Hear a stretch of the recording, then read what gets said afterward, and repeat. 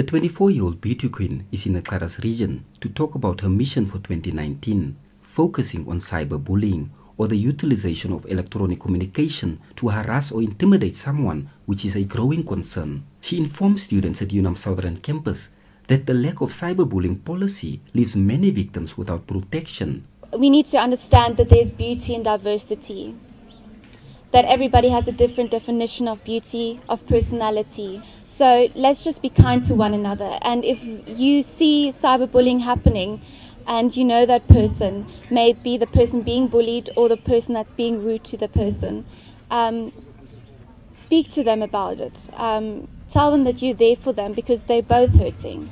At the same occasion, the Assistant Pro Vice Chancellor of UNAM Southern Campus, Dr. Errol Naumap, thanked Breitenbach for using her time to encourage students in the region to remain focused on their studies. She is a shining example and a distinguished achiever who is privileged to represent Namibia at the world stage in the near future. Ms. Namibia also had the opportunity to engage members of the Keetmanshoop Town Council. It's the first time that Miss Namibia come to Keetmanshoop. Now you have a bigger task yes. to, to conserve really our, our, or to be an ambassador to conserve our natural resources. The beauty queen will also focus on issues such as efforts to guard Namibia's natural resources for future generations. Natangwe Jimmy NBC News, Keetmanshoop.